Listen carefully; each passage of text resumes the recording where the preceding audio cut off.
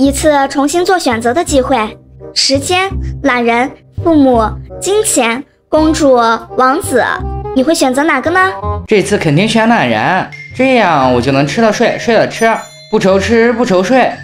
那如果我选金钱的话，岂不是有无数的金钱，想买什么就买什么？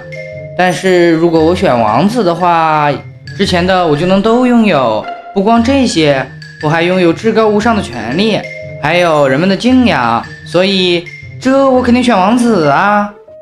小白，你难道不选父母吗？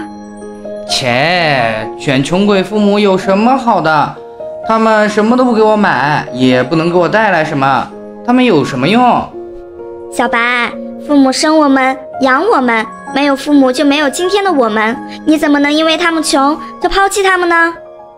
切，我才不，还整天打我们，骂我们，我想要的东西都不给我买，整天除了知道逼我们学习，还不让我们玩游戏。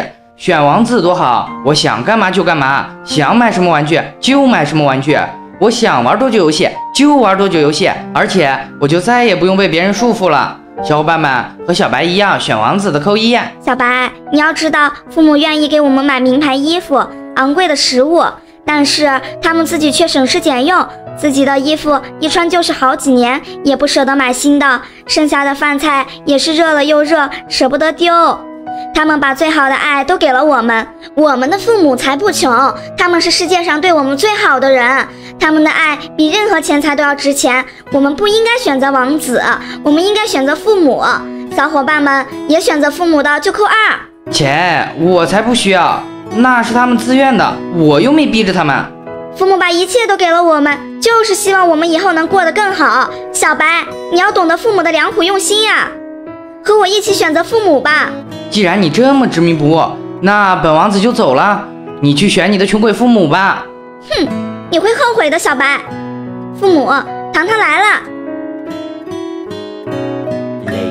你放弃了所有的诱惑，选择了自己的父母，说明你是一个很孝顺、很善良的人。哇塞，爸爸给了我好多装备，妈妈也给了我好多的食物，他们简直就是世界上对我最好的人了。